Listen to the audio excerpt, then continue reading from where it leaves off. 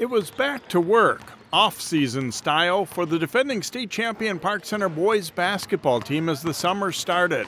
Summer's been really good, you know, trying to get up a thousand shots every day, um, lifting with the team, and uh, just trying to go back to back.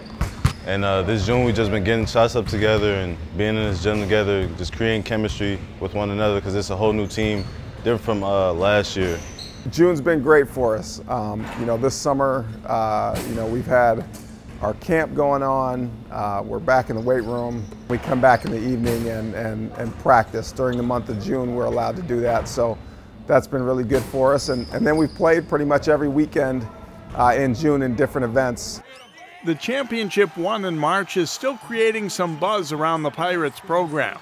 They did graduate all five starters, though, meaning opportunities for up and coming talented players. We've been having guys that I've been playing with, JV, for years.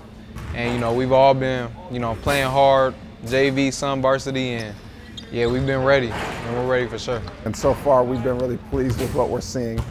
You know, we did you know, we did graduate a lot of seniors, uh, but we had a lot of a good, really good players that have just kind of been patient in our program, kind of steady fast, waiting their turn.